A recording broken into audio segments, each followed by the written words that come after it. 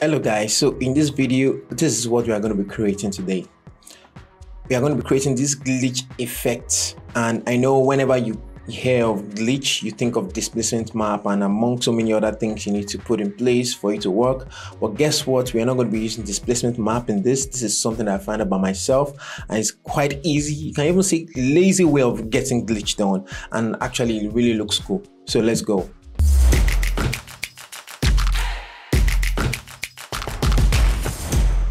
This is a video project I'm working on. I'm actually done with this thing, but I feel like it needs some glitch effect on it. So this is what I'll be applying glitch effect to.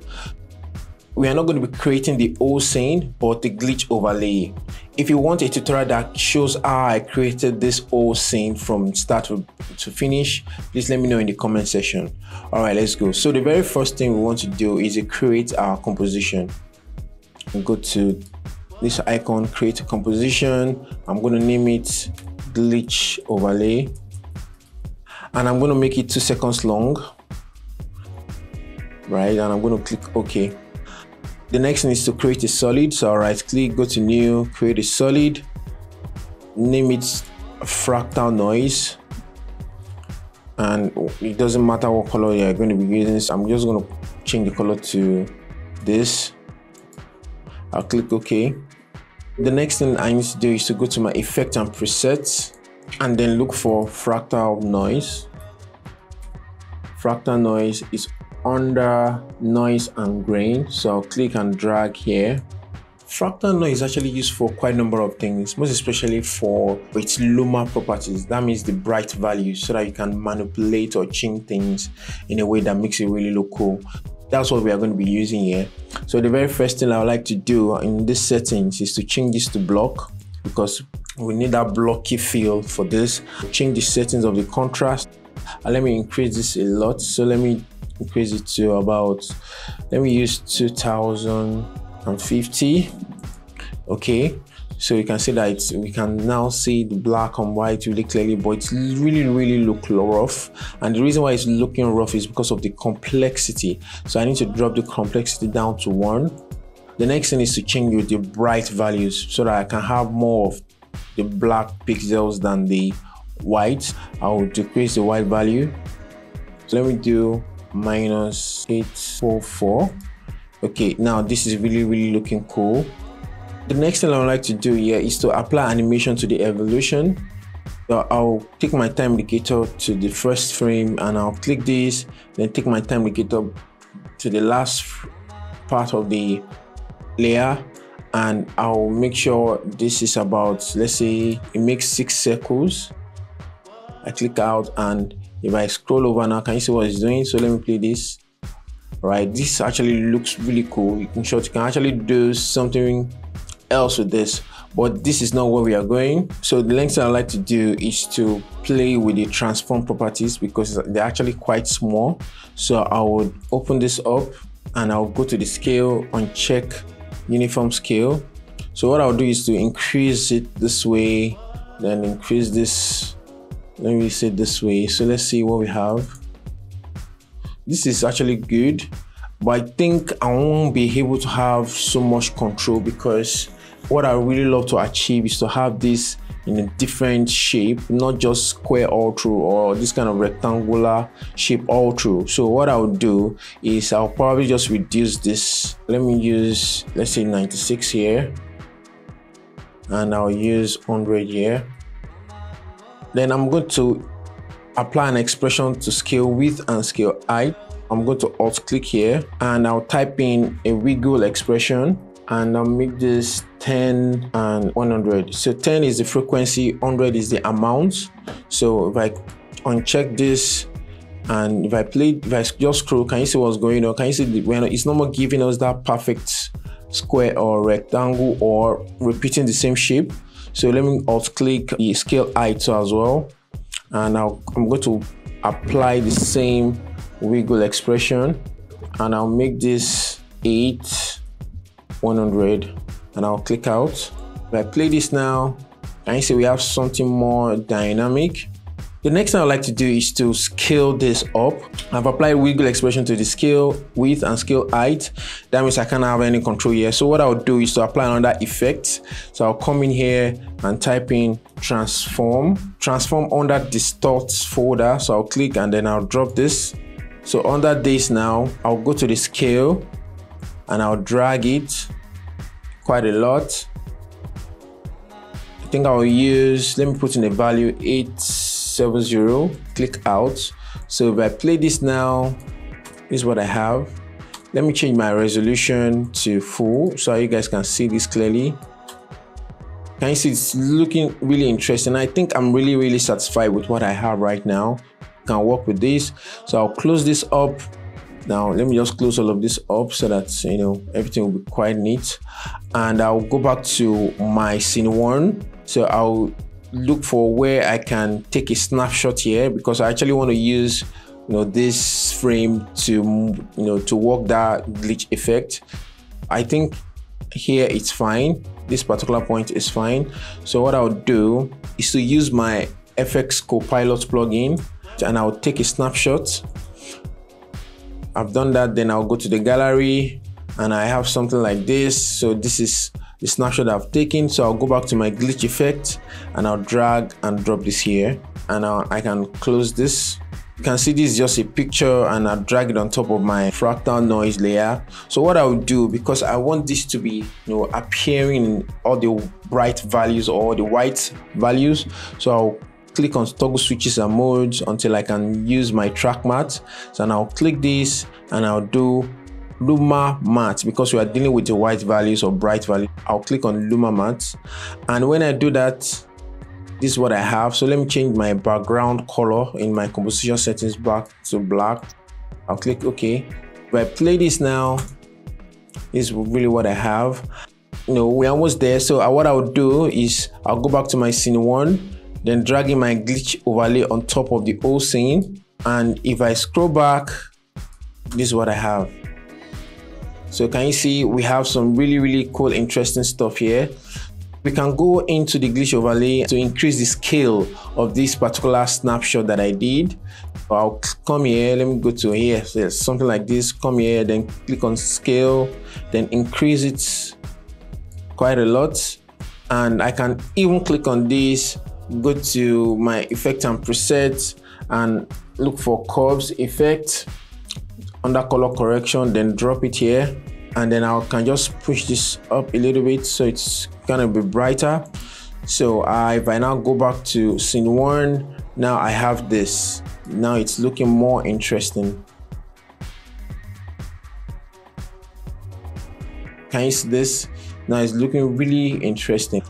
If I play this now from the beginning, so let's render. Yeah, so this is what we have. So this is actually one way of you doing glitch. If you notice in the original video, we still have some other dynamic, like I literally have two glitch effects. This is the first glitch. I need to create another so I can have something more dynamic. So I just want to show you another style. The next thing I'd like to do is to go to my glitch overlay and rename this to glitch overlay 01 and I'll click this then do Ctrl D. Ctrl D is duplicate. Then I have glitch 02. So I'll go into glitch 02. I'll just delete fractal noise because I'll not using fractal noise for this. I'll be using something else. Then I'll, I'll change the scale back to 100. That's for the snapshot or for the frame that I captured.